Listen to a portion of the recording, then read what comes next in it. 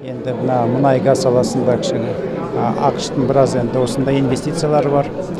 Сондықтан енді осы салада біздің ынтымақтастығымыз осы 25 жылдың ішінде біраз жақсы дамып жатқанын атап өту керек. Ақш пен қазақстан арасында қарым қатынастардың басымдылығының бірі ол қауіпсіздік саласында қарым қатынастар ауғанстанға қазақстан біраз көмек бергенін білесіздер. Ауғанстанға қатысты қазақстан ақш біраз қарым қатынастарды дамытып а, сол мемлекетке көмек көрсетуде өзінің үлесін қосты.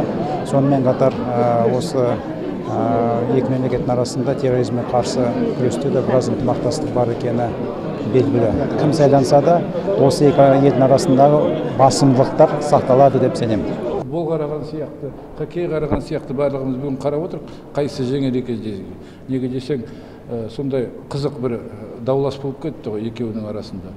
А былай қарағанда біздерге біздің ә, қазақстанның алғашқы уақытындағы жағдайына алғашқы уақытындағы ішкі сыртқы саясиына бұдан ешқандай келіп кететін жақсылық та жамандық та жоқ. Э, Но я думаю, что при любых обстоятельствах, кто бы ни стал президентом, э, э, у нас есть договора, которые будут выполняться между Ка- э, Казахстаном и э, Соединенными Штатами Америки, и я не ожидаю резких изменений в политике э, нашей страны или между нашими странами.